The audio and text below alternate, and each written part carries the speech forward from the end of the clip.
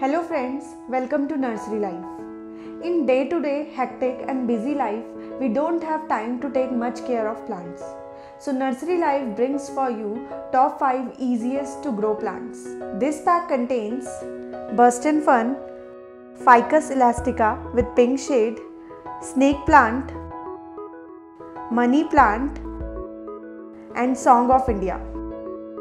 These plants not only provide an eye-catching attribute to your empty space, but they are very easy to maintain. These plants are known to reduce stress and improve your concentration. Friends, the price detail and information are given in the bio. Thank you.